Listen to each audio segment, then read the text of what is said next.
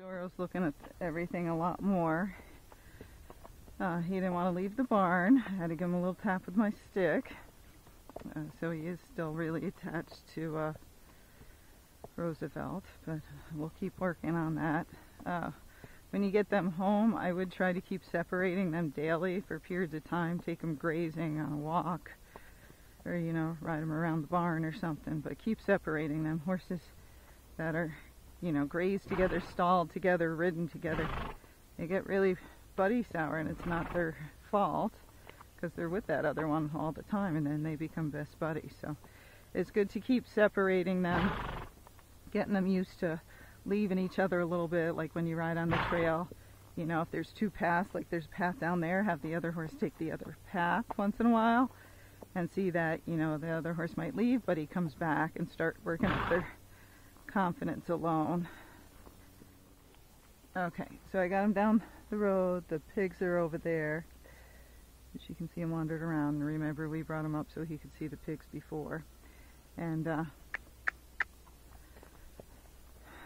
so it took a little bit to get him out here. Nothing horrible, but he would have rather stayed at the barn with Roosevelt if he could have. And so when you're trying to get horses out alone, you have to have some dominance and be sure of yourself and, you know, a good rider so you can stay on if they pull anything. So, okay, so we'll see how it goes. Okay, so there's lots of junk to go by. It's good for him to see. And again, a horse can be great in groups and not good by themselves because, you know, they've been relying on the other horses. You know, just like you rely on your groups of friends, you feel safer in a group, don't you?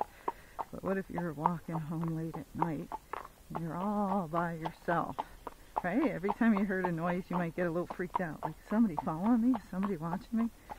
So that's how they get, you know. They can be fine in groups, and then you get them out alone, and they're like trying to look at everything because they're scared. They're trying to check it out, and they're getting ready to, you know, run if something does jump out. And, you know, these horses can spin or jump forward or whatever on a dime.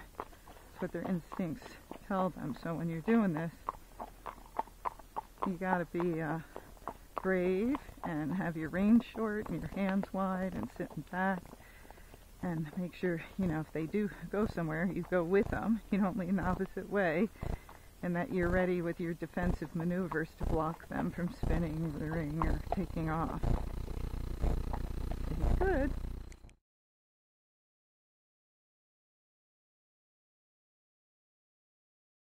So he's behind me right now. Right? He's watching the goats. They're going back into their house. Okay, so now he's getting better. I'm going to let him eat some grass because then he'll still smell the goats because they were sitting right over there. Okay, so we want him to get used to it and think, well, when it smells nasty and I see those creepy goats, I get some grass. So maybe they are okay. And so, oh, they do stink. They stink like, like just bad BO. but like months of it, right? Oh my God, they're stinky. And so if you get a goat, don't get those stinky goats. But um, you want to get your horse curious, let him check out the stuff. You know, the goats left, so that made it much easier, and he's smelling. And uh, so I'll have to keep coming by here and getting him used to the goats. But just be ready, you know, on a new horse or new trails that your reins are short, you're paying attention, you're ready to maneuver your horse if you need to. You know how to do your turn on the fore forehand and turn on the haunches and that way you can block a spin or you can block them from running away. But if you don't know how to do those and you don't know how to defensive maneuver, um, then your horses will end up spinning and getting bad habits. So just like a car, you got to be ready. You got to be paying attention. It's called riding, right? I always say that. It's called riding. It's not called sitting, people. So let's ride. Okay, so we'll get him used to this. Okay, so you see I'm a lot shorter now, huh? Because I'm hand walking him because he decided once he saw the ghost, he wasn't ready for all this stuff. And so I'm going to do what I did with Stetson if you watched his videos.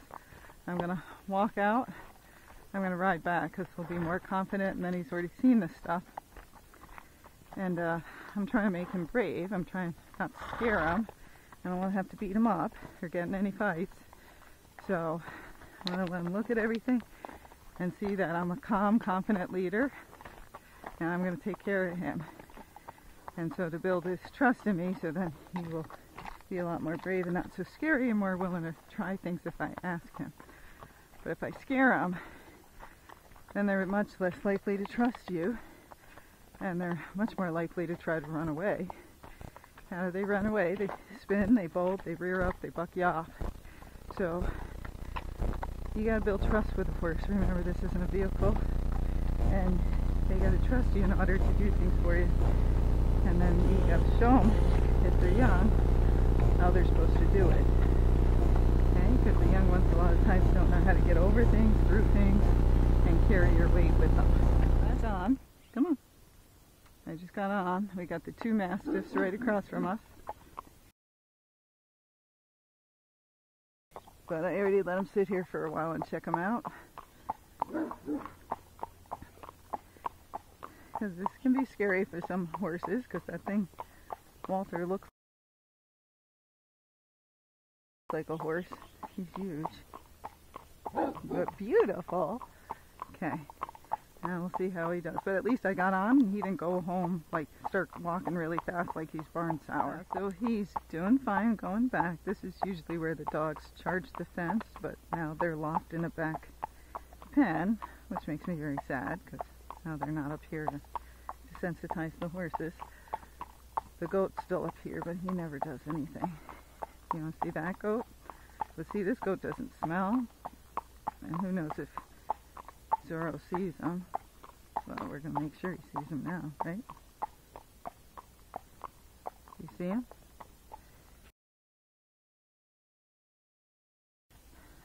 So see, you don't care about that goat.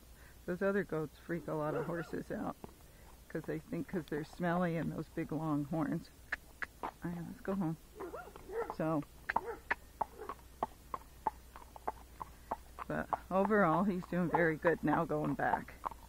And he kept uh, screaming, you know, when your horse screams, he's just seeing if other horses are around. You know, he's yelling out, hey Bob, Susie, are you guys here? And then he waits. And he's like, they ghosted me. Yeah, so he's all alone. I'm your only friend, buddy. Nobody's here.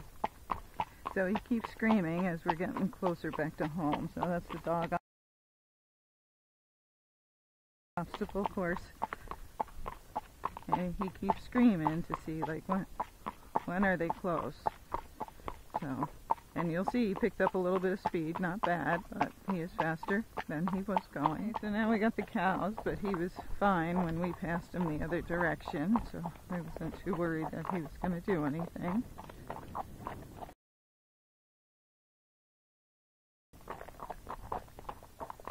Um, his less stifle does keep giving out a fair amount, but their stifles can give out when they haven't been worked because they learn they lose. really? They lose all their muscle tone, and so their stifles, the muscles around it get stronger as they get back to work, and then they usually won't give out as much. But the um, walking horses are very flexible, so they have a lot of laxity in them. So when they don't have muscles, holding those things in place, then you'll tend to feel their different body parts kind of giving. So you can feel their stifle give out or their ankles will give out and other things because they just have flexibility in them a lot more than um, many other breeds of horses. That's how they can get that beautiful flat walk and running walk is because of all that flexibility